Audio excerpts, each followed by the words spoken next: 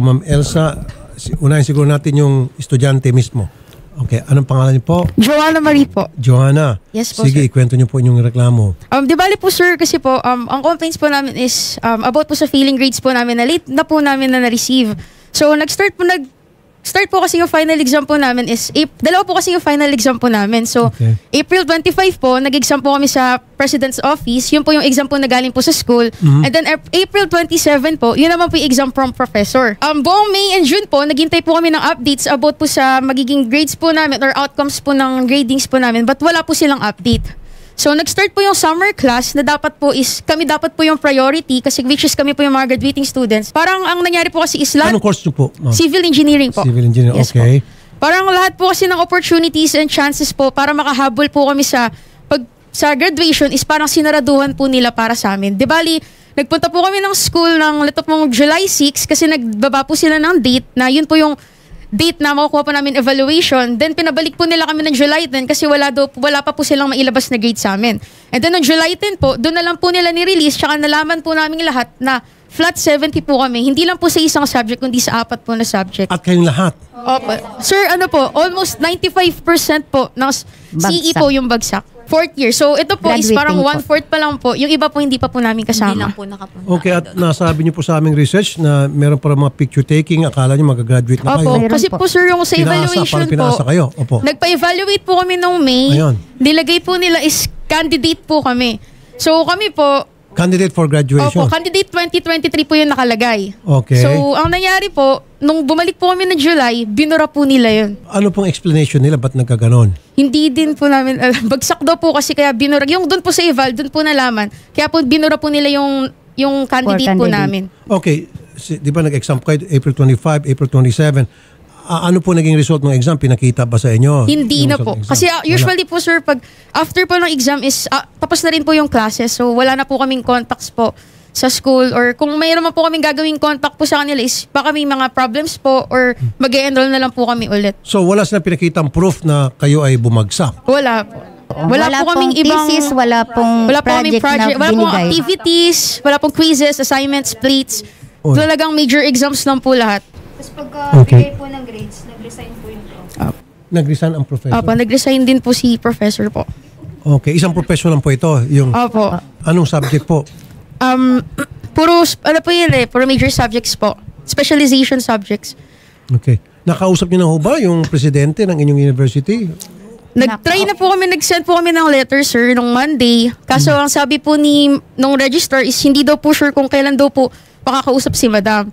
And then nung bumalik po kahapon lang, may kahapon po kasi nagpunta na students doon. Ang sinabi pong option lang sa kanila is it's either i-retake po nila yung, i-retake lang po talaga yung mga subjects na binagsak. So wala pong binigay na gagraduate kayo or wala pong ganun. Talagang ang binigay lang po na option is i-retake po this first semester.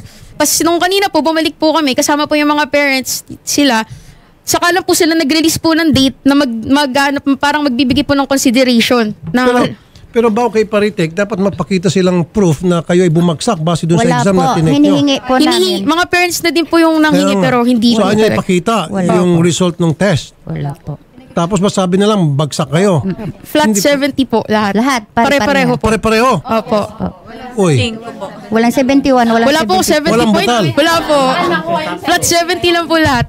so parang merong isang tao dyan, nag- nag-invento na lang ng numero at saka nilagay 70 kayong lahat. Opo. Sir, Si- actually sir, ah, kanina pinilit ko po si Madam, kausap ko po si President kanina. Yung President pinilit po. ko po yung ilabas yung grading sheet nila pero wala silang may ilalabas. Bakit na pa ilabas? Hindi ko po alam. Ngayon lang silang ilalabas eh. ngayon lang ho ba nangyari ito o dati Ngayon lang meron ng po. ganito? Ngayon lang po may naglakas na loob. Nagreklamo na May nagreklamo po na mga ibang course po. po, Wala na rin. Hindi rin pinakinggan. Hindi pinakinggan. Okay. Yung Nasa professor po na nag-resign, hindi niyo po nakausap. Wala po. Wala pong Hindi po makontak, sir. Hindi na. Opo. Pero isa yung po iba pang mga officials sa- ng eskwelahan, wala ko kayo nakausap doon. Wala. Registrar. Register lang po. Okay. At ano sinasabi Si Ma'am po? Gomez po. Nakausap din po namin kanina. Okay, ano sabi po ni Ma'am Gomez? Nagbigay na daw sila ng yung hinihingi evaluation grades sa mga bata. Pero sabi nitong mga bata, wala. Wala. Silang naibigay. nakatoga na sila. Excited na po kaming mag-graduate Kasi mga po anak namin. Nagbayad pa ka ng graduation fee. Opo. Nung nag-enroll po kami, Sir Rafi, dun po sa slip po na pinirmahan po namin at saka nilagyan po, ano po, kasama na po talaga yung graduation fee po dun na 1,850 po ata. Oh, ang laki, 1,850. Opo, tapos 97% po yung student po na lumalapit sa atin kaso hindi nga lang po nakapunta ngayon. 97% ang binagsak. Opo. Pito lang pasa o nine? Nasa 10 lang po. oh. Grabe, parang hindi ka panipaniwala. Opo. So first time lang po siguro nangyari ito Opo. sa history po ng Ina- University of Manila. Hindi din po namin sure. Wala lang po naglalakas po Wala na loob. naglalakas. Balitaan na ganun din po. Okay? Na, May mga nagre-reklamo po pero, Pero hindi na raw po nila pinakinggan. tinutuloy. Kayo po ang pinagpa-public Opo, yung mga apology. students po. Mga estudyante. Mga datihan po mga nagre-reklamo. So, yung mga nagreklamo na agrabyado, yung pang pinagpa-public apology Opo. sa kasalanan na ginawa nung nireklamo nila. Opo. Eh bakit ba't nag-public apology? Ba't pumapayag? Eh baka naman kayo papapublic apology. Hindi ako papayag. Hindi. Kaya po nandito tayo. Dapat sila mag-public apology kung talaga may kasalanan sila. Hindi masyado klaro dito kung kasi bigla nang resign yung isang professor tapos yung uh, nagsinungaling yung register kamo at uh, yung presidente hindi makausap. Mr. De Vera, magandang hapon po sir. Yes, good afternoon. Opo. Sir, andito sa aming studio ngayon pagkarami-rami mga estudyante ng University of Manila at uh, Yeah. hindi po nila alam kung bakit halos lahat sila pare-pare yung grades binagsak uh, after ng dalawang exam na tinake nila na hindi naman pinakita sa kanila yung proof ng kanilang pagkabagsak. Yeah, And then the school doesn't want to talk to them anymore. yeah. Ah, so, lumalapit po kami sa inyo, sir. Baka pwede ko kayo makatulong through your office na para makausap tong UM. Kasi yung UM, ayaw pong, ayaw pong magsalita, maging sa amin. Basta sinasabi lang, bagsak ang lahat ng estudyante, ma- 95% ng mga estudyante binagsak ng ganun-ganun na lang without proper explanation. At Have yung, they, yeah, have they uh, uh, sought a reconsideration of the decision of the university? consideration. Wala po talaga. Ah, ayaw nga po makipag-usap, sir. Ah, ayaw makipag-usap. O basta sinabi, bagsak na kayo, finish. Mag-retake na lang. Retake. retake na po. na, lang. Bagsak kayo, retake na lang. Yun na lang po. Walang paliwanag. At lahat sila pare-pare yung grade, 70. Walang butal. Lahat. Ayaw na nilang, ayaw na nilang mag-retake. Well, wala namang problema sila mag-retake, sir. Kaso, dapat yung school mag-explain muna. Pakita muna yung, yung uh, exam. Kung uh, saan sila bumagsak. Paano sila bumagsak. Wala po, sir eh. Ayaw pakita Ah, yung okay. result ng exam. Okay, so ang suggestion ko is nag-file sila ng official complaint sa CHED para may papatawag namin yung school. Okay? Pwedeng, pwedeng mag-mediation sila, pwedeng kuhan. Either we ask the school to officially uh, reply through a show cause order or we can call the university official to sit down with the students in a mediation meeting. Sasamahan po namin itong mga estudyante dyan sa inyong tanggapan para mag-file ng formal complaint. Uh, sir, Mr. De Vera. Ikuan muna, no? Ah, ay, ah, sabi ko, i-text ako so I can give the name of the head of legal para pagpunta nila doon, ma- naka-schedule at saka may makakausap sila. Very good. Kasi pag bigla sila nagpunta doon ngayon, uh, ayamin Pangasinan eh, on, uh, on, uh, kwan, no, on uh, an official business. I don't know if the head of legal is there. Maganda na alam na nung head ng legal yung issue, mapag-aralan na ahead of time, para pagpunta nila, ma-actionan na. Opo, sir. So, Yeah. sino po yung pwedeng puntahan? Today is uh, Friday. So, pwede ba kayong magrekomenda ng uh, kawan ninyo doon sa chat na pwedeng I, I have kausapin? to I have to check kung sino ang nandoon kasi nasa Pangasinan ako eh. Opo. I, I have to check if the head of legal is there Opo. uh, or the director of NCR is there. If they're there, then I can instruct them to meet with the student. Okay. And if they're not there, Uh, if they're not there, then we can uh, we pwedeng second level, but I don't know if the if the second level people can act on it as expeditiously as the director. opo. But is it possible po, Mr. De Vera, na tawagan niyo po yung legal department ninyo, sabihin niyo sa kanila na pumasok kayo sa lunes kasi meron po mahigit 30 na mga estudyante ang, mag, ang kailangan yung tulungan? Sir? Ah, yes, yes, walang problema yan. Uh, Good. actually, kung, actually, kung nandoon sila ngayon, I can instruct them to wait for the students if Very they're in good. the office now. Opo. Opo. So, Oo. so pwede ko ba i-request, sir, na tawagan niyo na po ngayon ah, yung pong mga kawan niyo doon sa CHED ah, kung sino pong pwede namin ma- maabutan doon sa Monday. Ah, yes, yes. Anong oras, anong oras uh, pupunta mga estudyante? Very good.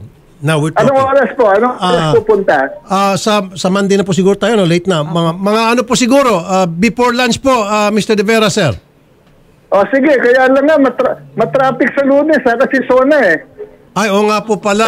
Oo nga pala, tama, tama. Baka magka-problema sa Correct, correct. transportation ng mga bata. Correct. Ah, how about Tuesday po, sir? Yeah, Tuesday is better. Tuesday is better. Ah, sige po. Sasamahan po namin doon at ah, siguro po later, pakitext na po sa amin ang pangalan po ng tao na kakausapin po namin kasama itong mga estudyante natin. Yeah, te- pero textin niyo ako ng kwan, ng cellphone, hindi landline kasi hindi ako makakasagot. Opo, opo. Sige, Oo. sir. If you can Yeah. help these children, these students, sir, I will help you pagdating sa budget hearing ninyo. Ay, hindi, hindi na kailangan yon. We will help them because we do that for all the students. Oh, di ba ba, sir? Yeah, we, we will help them. Don't Opo. worry, don't worry. Ah, ganun po ba? O, Yeah, sige, asahan, asahan ko po yan, ha? Yes, Ah, yes. Mr. De Vera, sir. Yes, yes. Sige Okay. po. Maraming salamat po, Mr. De Sige. Vera, sir. Thank you po, sir. Okay, thank you.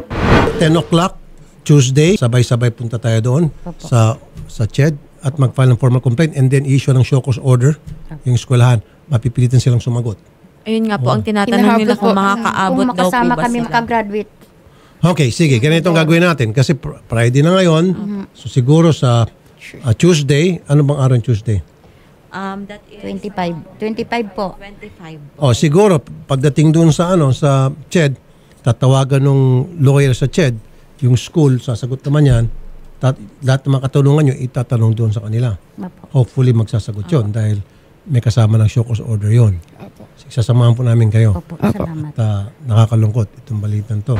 Na meron po talaga silang binayaran na graduation fee na worth 1,850 po, idol. Oh, tapos pinasutan silang toga tapos wala namang ano. Opo. Sige, ganun na lamang po. Ah, sasamahan namin kayo doon sa sa Tuesday. Ah, magagawa magagawa natin ng paraan dahil yung CHED malapit na yung budget hearing. CHED, nakikinig kayo. Okay. Sige, ma'am, ganun na po. Ah, Sir Rafi, thank you so much po. thank you rin po sa Sana tiwala. matulungan Opo, niyo maraming, maraming, maraming na salamat makagraduate yung mga anak namin. Sige po, ipupush natin mo yan sa Tuesday. At saka Tuesday po, nasa Senado ako niyan. Kahit na nasa Senado ako, bago po mag, ah, mag-session kami, gagawa rin po akong pagtawag personal. Ako mismo tatawag sa CHED. Habang nandun po kayo, kasama yung reporter namin, ako po mismo tatawag sa CHED din. Sige po, Okay. salamat talaga. Thank you po. Thank you so much po, sir. Thank you po. Thank you po. Thank you, thank Maraming you, salamat thank you. po. Thank you.